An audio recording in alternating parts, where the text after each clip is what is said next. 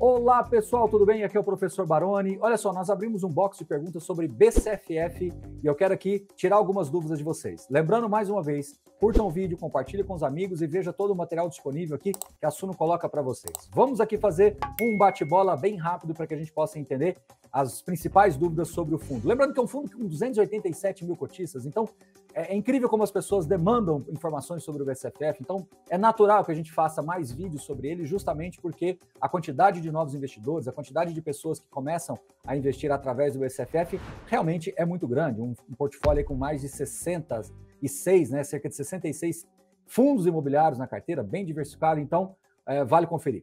Vamos lá.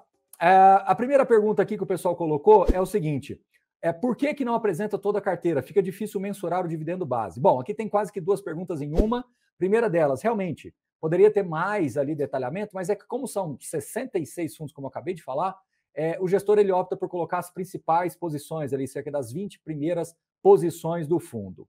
E com relação ao rendimento base, inclusive algumas pessoas aqui bem nos perguntaram, já vou emendar aqui na resposta. Sim, tem um gráfico lá embaixo que você consegue enxergar ali o chamado FFO. É um nome meio feio, né? FFO ajustado, mas ali tem o rendimento mais próximo daquilo que seria o rendimento base do fundo. Então, se vocês olharem hoje, o, o BCFF consegue entregar aí cerca de 50, 50 centavos como base, né? Considerando aí todas as, as despesas do fundo e não dependendo tanto assim do ganho de capital. Tá bom? Então, isso é muito importante. Bom, por que subiu bastante? Né? Se tivesse feito essa pergunta algum tempo atrás, é por que caiu bastante. Então, o FOF, como eu sempre falo, ele tem um comportamento positivo de mercado. Né? O que, que isso quer dizer? Quando o mercado cai, ele cai mais do que todos. Quando ele sobe, ele sobe mais do que todos. Então, como o mercado começou a subir aí nos primeiros dias de dezembro, né, dezembro de 2021, o, o BCFF, assim como outros FOFs, acabaram acelerando também o seu movimento de recuperação. Tá bom?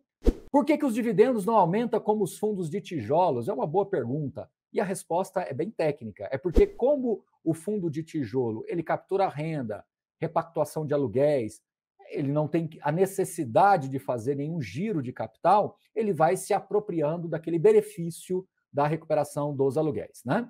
A inversa também é verdadeira. Então, se você tiver ali queda nos fundos de tijolos por causa de renegociações, vacâncias, o, o, o, o fundo de tijolo sente mais. Agora, o FOF, ele tem vários componentes ali que impactam a renda no mês.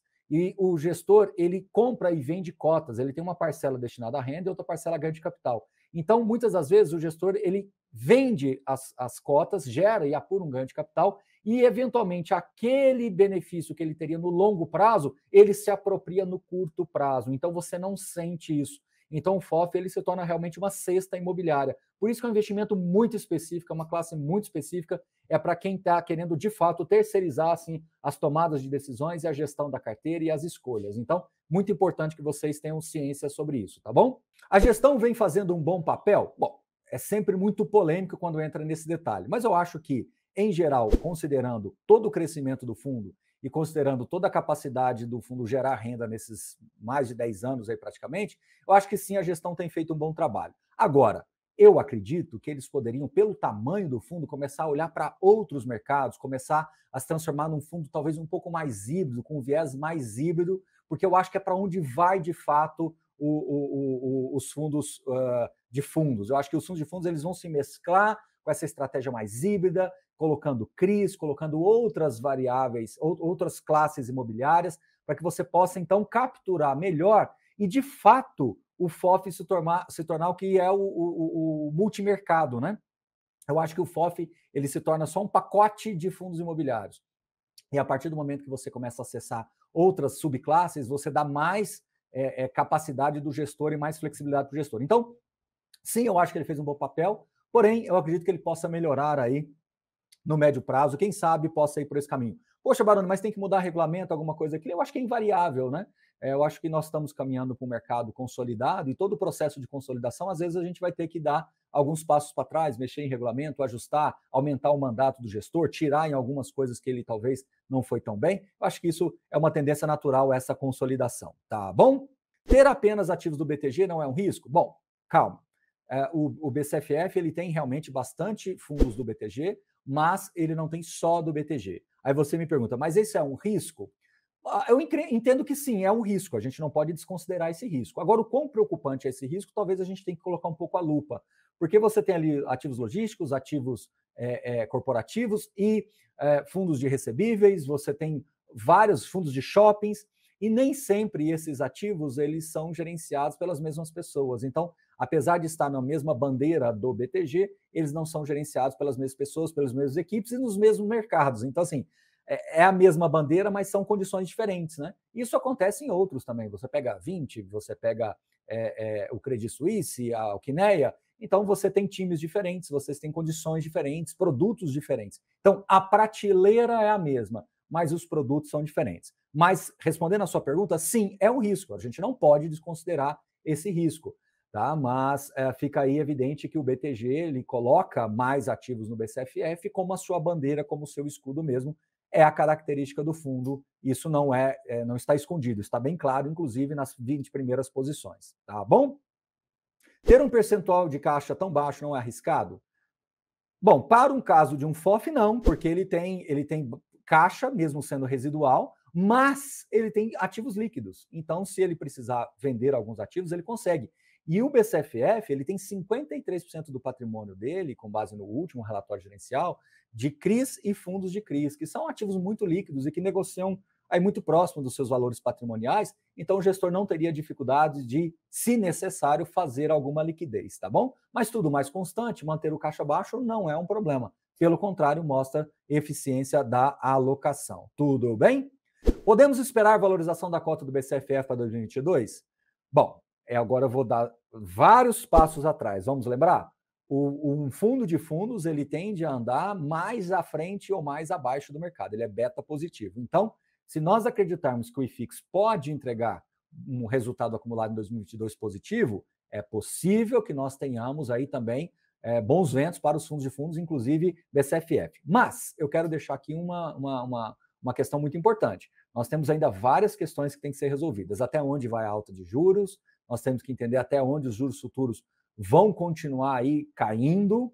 Nós temos que entender até onde vai a inflação, riscos fiscais e questões políticas, definições das, pelo menos das chapas políticas, para que a gente possa entender melhor aí essa configuração e como é que o Brasil pode avançar em 2023. Como a gente sabe, o mercado antecipa. Então, acho que o que a gente vai ver em 2022 é uma antecipação de 2023 naturalmente, seja positiva ou negativa, né? Então, tem muita coisa para acontecer. Mas, lembrando sempre que você, é, se você quiser que todas as respostas sejam respondidas para começar a investir, eu acho que dificilmente você vai é, fazer alguma escolha, né? Então, a minha sugestão sempre, aqui não é só para a BCFF, para todos os mercados aí que você investe, ações, fundos imobiliários, enfim, as classes que você acessa, é que você monte uma carteira boa, estruturada e faça sempre os seus aportes, porque as respostas vão surgindo, novas dúvidas vão aparecendo, então nós sempre teremos aí alguma coisa a ser resolvida. Nunca nós vamos viver num ambiente em que todas as respostas estarão certas, que todos os horizontes estarão resolvidos. Então foque em aumentar a quantidade de patrimônio, aumentar a quantidade de cotas, aumentar a quantidade de renda. De novo, isso vale para a BCFF e para todos os outros, tá bom? Muito bem, vamos aqui na nossa última pergunta. Mais uma aqui, mais uma aqui, mais uma aqui. É, quais são as taxas do fundo que influenciam diretamente o rendimento? Vamos lá. Nós temos a taxa de administração, gestão, aí tem umas que não aparecem ali, que é de, de, de, de é, escrituração, é, são, são taxas bem pequenininhas, é 0,0 quase nada. Elas impactam, mas não são assim tão é, relevantes no processo decisório, né? É, nós temos, nós temos, é, não tem taxa de performance, é basicamente essa. Então, taxa de gestão, taxa de administração, a escrituração que não, não é tão clara, mas é pouquinho, às vezes ela está até dentro da administração, muitas das vezes, porque é do próprio banco, e a taxa de performance não existe no caso do BCFF. Agora, por falar em taxa, uma questão que o pessoal sempre se preocupa é com relação às duplas taxações. Né? Então, realmente, quando você investe num FOF, os fundos que estão ali dentro também têm as suas taxas. Então, você tem uma dupla taxação ali. E outra coisa, mas isso, enfim, faz parte da característica do produto. Aí o gestor tem que ser hábil o suficiente para entregar resultados que compense essa dupla taxação. Mas uma taxa que às vezes é, é, passa desapercebida é a taxa de imposto de renda, né, que você paga quando você gera ganho de capital ali dentro do fundo e paga aquilo ali para receita. Inclusive, foi um assunto polêmico, o BCFF está, inclusive, conseguindo recuperar parte dessas taxas, mas, via de regra, para a gente ter uma leitura mais conservadora, vamos assumir que existe sim esse custo. Tá bom? É isso. Espero que vocês tenham gostado de conhecer mais um pouquinho de BCFF, um fundo muito demandado. A gente faz vários vídeos sobre ele, porque realmente o público é rotativo, muita gente chega, quer conhecer um pouquinho mais do fundo. Então tá aí algumas das principais dúvidas. Muito obrigado, compartilhe o vídeo, dê um joinha e acesse todo o conteúdo disponível aqui. Valeu, até a próxima. Tchau, tchau.